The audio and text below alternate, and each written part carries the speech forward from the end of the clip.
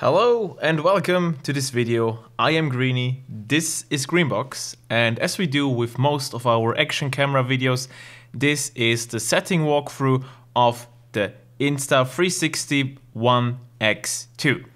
Alright, so the device comes with two physical buttons. We have one button on this side, which I just used to turn on the camera, and it just turned off. And the second physical button is this button here, which is used to capture a video or photos. All right, so let's bring it back onto a live. Everything else we have to control through this circular display we have here. This is not only our viewfinder, which we can use to watch our surroundings. No, this also is a touchscreen, as we just saw by me touching it. So if we want to access any functionality, we need to tap onto this screen once and we get some on-screen displays.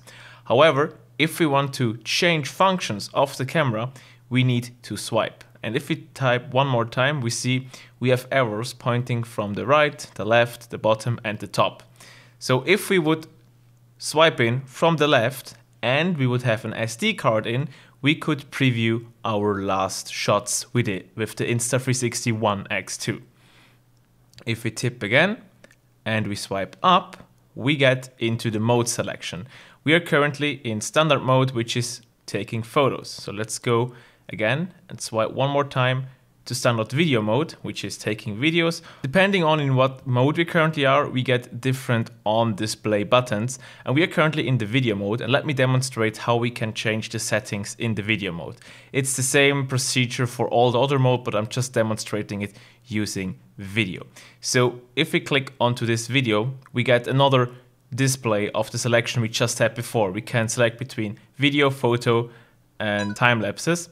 So let's go again to the video and in the video, on the right side, we can change between if we want to record in standard, HDR, time-lapse, time shift, or bullet time mode. The bullet time mode, by the way, is the mode where you attach the Insta360 One X2 to a string and swing it around. So for the sake of this video, let's go to standard settings, select standard, and once we select it, we get back to our viewfinder. If we then want to change the resolution in which we are recording, because we are currently recording in 5K 25, we can click on that and we get to the resolution menu. And in here we can change the frame rate on the right. We can go up to 30 frames a second with 5.7K. And if we go down to 3K, we can get up to 100 frames a second. Other than that, we get this little icon, which allows us to quickly change the lens we are currently previewing this can also be done by swiping, but it's a little bit faster by just tipping than having to swipe and find the right place every time you want to change the lens. On the other side, we also have a mode selection, which is currently set to 360 degree, which means we are recording the 360 degree video. So we just changed to the 150 mode, which is basically just recording one side of the camera. And if we would want to change the camera, we cannot do that by swiping right now, so we need to press this button this time. So let's go to the other side and are now previewing the back side. One thing, if you're only recording one side of the camera, we can enable the Pro mode, which is here on the resolution, tap there onto Pro mode. And Pro mode basically allows us to um, adjust the aspect ratio later on, as well as use the flow state stabilization in the Insta360 Studio. So let's enable this and we are now in the pro mode. If you want to go back to basic, just press basic again, and we get, again we'll have basic in camera stabilization. Let's set the camera back to 360 degree real quick. All right, so we are back in the basic functionality of the Insta360. So let's get back to swiping. We already swiped from the bottom and we swiped from the left. So if we swipe from the right, we get to the settings. For example, in here, we can change the exposure. It's currently set to auto. We can go to manual or shutter priority or isolated. And isolated basically means that both lenses do the thing um, independent from each other, which means it could happen that one side of the image is way darker than the other because they do um, adjust independently. Also, we have the EV settings in here and we have the white balance. In here, we can adjust the white balance manually or set it to auto. we have the color profile. It's currently set to vivid, but we could go to log or standard. Um, please note that if you go to log to the log format, you of course have to edit it in post on your computer with the Insta Studio or Premiere Pro. So I suggest you either go with standard or vivid, which can be used right from the camera and the app itself. And this is everything we can set in this settings menu in here. So let's go back. By the way, if you want to go back from a menu, either you have to click through it or you just swipe back and you're back. So let's swipe from the top down and we get into the quick actions. I'm not 100% sure if it's really called quick action, but it's basically what it is, quick actions. So for example, the first icon means we can adjust the brightness of our display. So currently it's at 0% and now it's at 100% again. Again, if we want to go back to the last page, we swipe back from the right, sorry, left. And second, we have this icon, which basically enables or disables the blinking light down here. I usually leave it um, disabled because it's pretty annoying.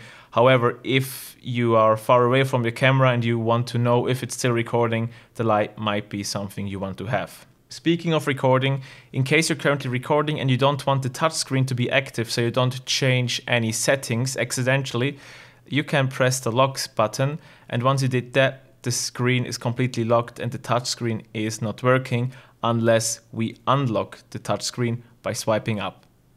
So let's go back to the quick actions. Next up, we have the icon down here, this rocket ship. This enables the quick capture and this basically means that if your camera is turned off or asleep and you just press the, the record button down here, the camera will power on, start the recording, and once you press it again, the camera will stop recording and turn off again. And you just saw it, the camera was listening to me and we get to this in the next page. So to scroll the pages, we just swipe again from the right and you're now on page two and there already is voice command because I said start recording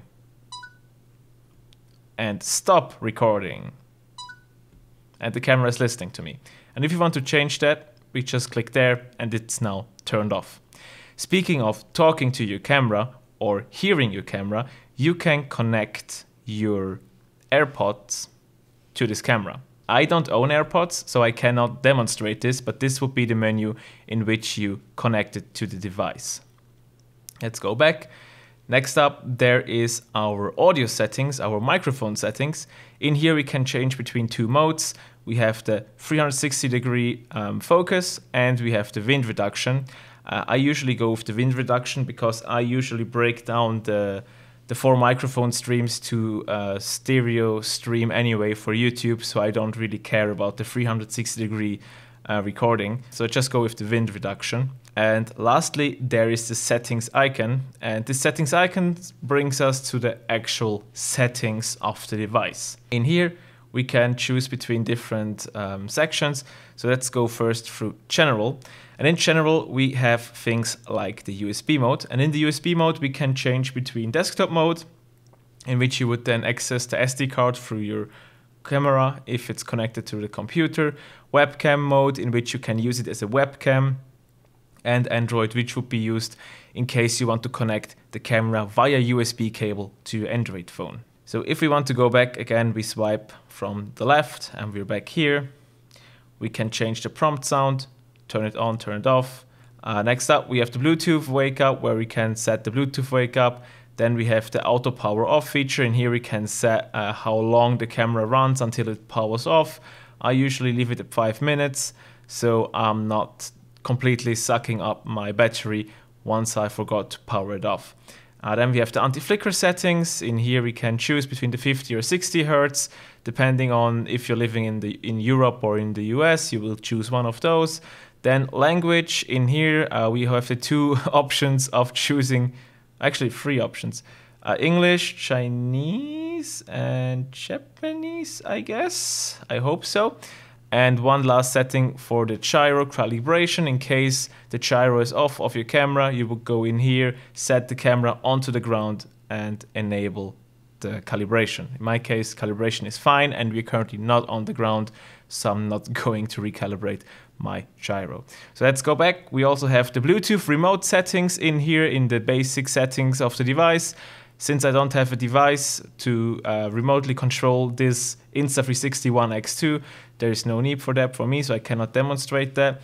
Then next up, there is the screen auto sleep. Just like the turn off feature, I like to leave it on for about uh, 30 seconds before it goes into sleep mode. Because usually if I'm not using the camera for 30 seconds, I either have to do something more important like setting it up and I don't need the display or I forgot about to turn it off.